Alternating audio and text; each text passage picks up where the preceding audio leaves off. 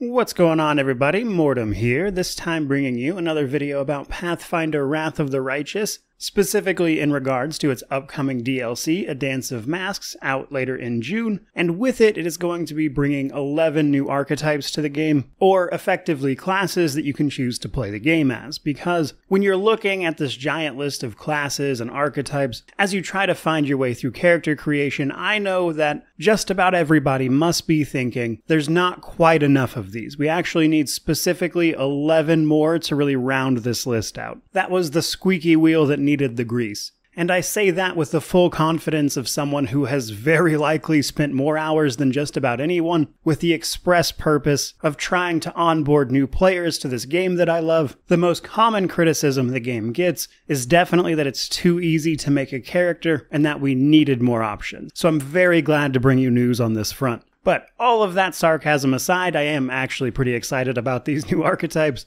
Some of them sound really cool and I wanted to go over them, as Owlcat has released some information on that front discussing the generalities of which ones they are, what classes they affect, etc. But these aren't the only thing that got recently announced. I'm probably not going to make a video for this specifically, so I wanted to mention it here. If you missed a recent update that they put out, it looks like the Devil Mythic Path is getting properly fleshed out with this upcoming DLC as well, with the Mythic Path itself receiving a full blown quest that I believe is meant to revolve around the corruption of Queen Galfrey, according to their own post about it. But that's not what we're here for today, so let's get to talking about these archetypes and what to expect. Now, do keep in mind I don't have a ton of footage or access to any beta gameplay for these guys, so we're mostly just going to be discussing them, so you can feel free to mostly just listen to this if you want. But first and foremost, we have the Drunken Master archetype for the Monk. I would say a pretty well known conceptual idea. The drunken master monk just interacts with the monk's key points in order to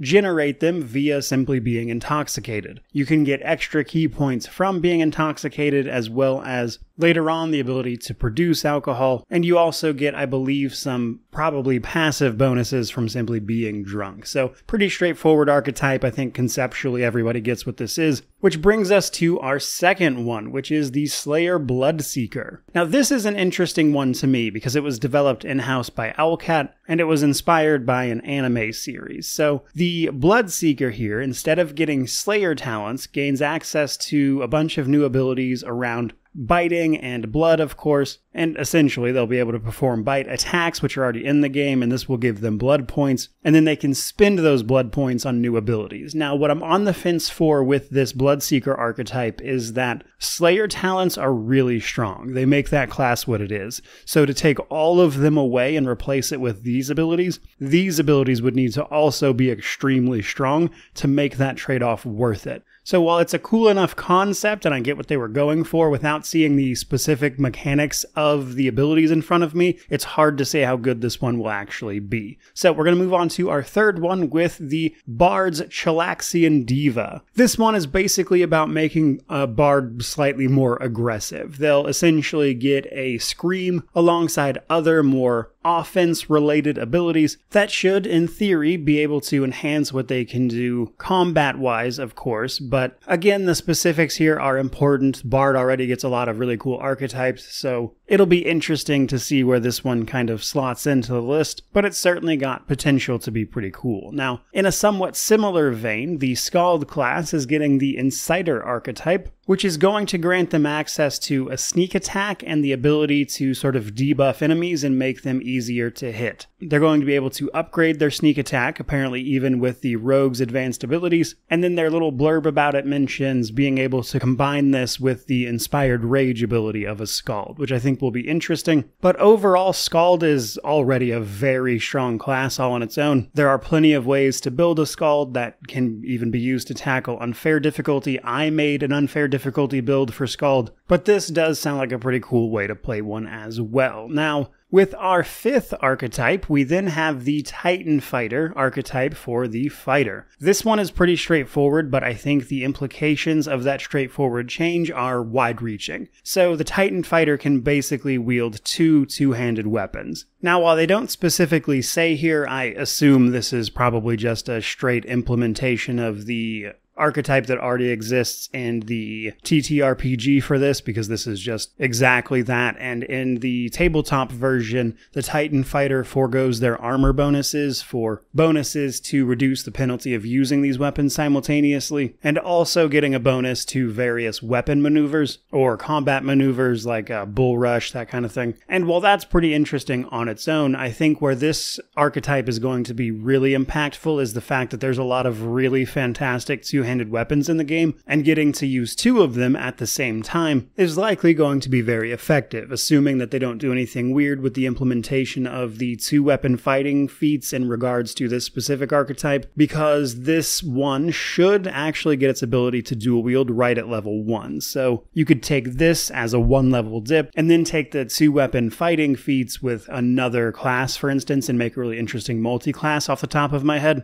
So that's certainly an idea. But moving right along, then we have number six with the Living Grimoire Inquisitor. So they specifically mention that this is a reimagining of the original archetype from the TTRPG. This is also one that just exists, but they've obviously made some changes. Now, right away, they mention the Living Grimoire's Sacred Tome, that they can use it as a weapon, and that at max level, they get a potential one hit kill via their Word of God ability. So I don't know exactly what they've changed here, so this one's a little difficult to talk about, but I can tell you what I know about this one from the TTRPG, which is that it changes the Inquisitor's casting modifier from wisdom to intelligence. Their living grimoire takes on the aspects of a war priest's sacred weapon, basically meaning it will get better as they level up, as it's essentially the only weapon they can use. So its base damage doesn't matter as much as your level, and they could tattoo second level or lower spells onto themselves to cast once per day as an ability in addition to their regular casting. And then, as I already mentioned, their big capstone was their level 20 Word of God ability that allows them to force an enemy to make a saving throw or simply die. Now, what I think will be interesting with this archetype in particular is whether or not they changed it in a substantial way that allows it to be multi-classed, because as you might have gathered from everything I just mentioned, this class is best as a pure class, uh, 20 levels of the entire thing, basically because of the way a lot of its abilities work. It would be a bit challenging to multi-class this, in my opinion, so I'm curious if any of their changes to it will be with that in mind. That said, moving right along to number seven, we have the Sable Company Marine for the Ranger class. So they let you, as a Ranger, mount a Griffin, which they are presumably making use of the Griffin models from the last Sarkorians DLC, which is going to let you use it as a pet. And if it's anywhere nearly as useful as the Griffin Shifter ability from the Shifter class that was added with that DLC, then this thing will be extremely useful. Specifically, their charge ability that doesn't require them to have a clear line of attack. But another really cool one, honestly, I think just being able to use a ranger in mounted combat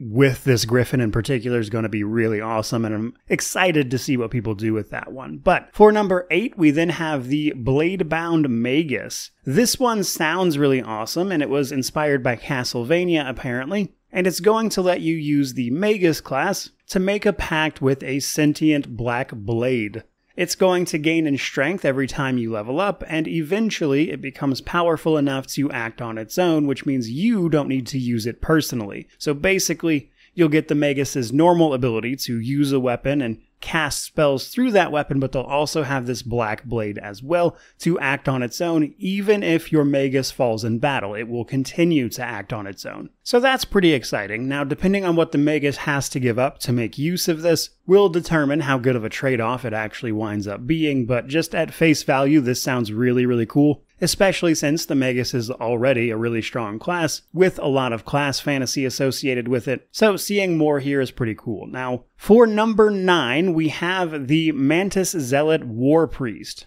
Their blurb about this one mentions that the Mantis Zealot is a member of the Red Mantis, and if I'm remembering correctly, this is a group of assassins which worships a Mantis god that is itself the god of assassins, and it looks like this makes the War Priest simply a follower of that evil deity, which would presumably mean it'll be in the game now. And it looks like, in addition to the War Priest, just basic ability to take on a sacred weapon that grows stronger with them, which in this case seems to be dual wielding sabers specifically, they'll apparently also be able to summon hordes of mantises that they'll be able to utilize in combat, which from the sound of their writing here will probably convey something like blur, which will simply make you harder to hit. And overall, I would say I love the class fantasy of a war priest in particular, but I don't necessarily always love playing as one. So it'll be interesting to see if this one in particular changes that at all. Now that brings us to number 10 and the one I am personally the most excited for, if you know me at all, which is the kinetic sharpshooter for the kineticist. The kineticist is, in my opinion, one of the most unique classes of the game as it functions very differently from everything else, charging up power to utilize their kinetic blast, which can deal extreme damage, but they are a bit squishy, so they are very much so a glass cannon. But the kinetic sharpshooter takes away their ability to charge up before they attack and instead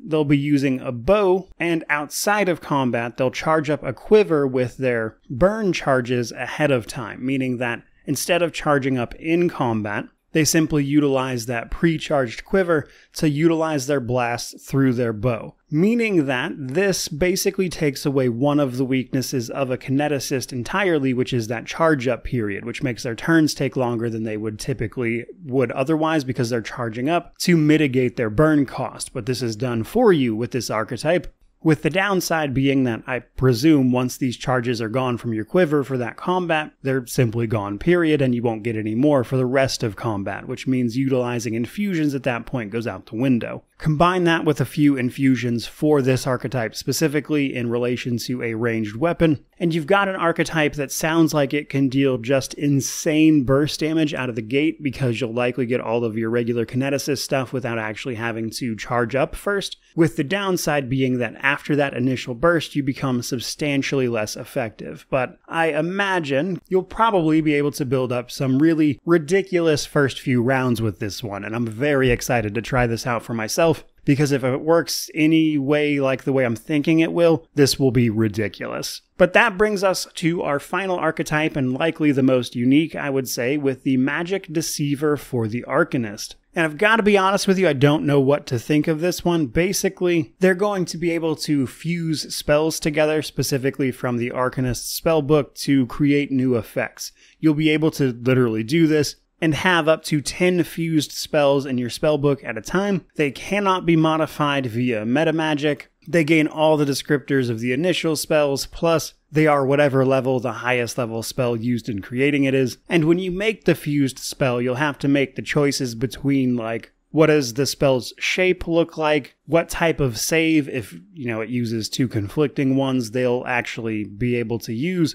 So I think it'll be interesting to see exactly how this one winds up working. And truth be told, I don't know exactly what to think of it because on one hand, I get the feeling this is likely another archetype that will not multi-class well simply because of how it works. And I'm curious what other Arcanist abilities they'll have to give up in order to utilize this. So this has the potential to be really, really cool, given that the Arcanists have a pretty cool spell list, and combining a lot of those sounds really interesting. But how much of a headache it is to play this, where you're constantly going to be swapping out fused spells, most likely, on top of just learning what is going to be effective in what situation, etc., might be a lot to handle in an actual playthrough, but at least on paper, it sounds extremely cool to me. That is pretty much going to wrap it up for our 11 archetypes that are going to be coming with the Dance of Magic Masks DLC not too long from now on June 13th. In the meantime, that is pretty much going to do it for this particular video. Do let me know what you think of all these down in the comment section below, but regardless of any of that, truly just thank you so much for watching. I really do appreciate it. May you wander in wisdom and have an amazing day.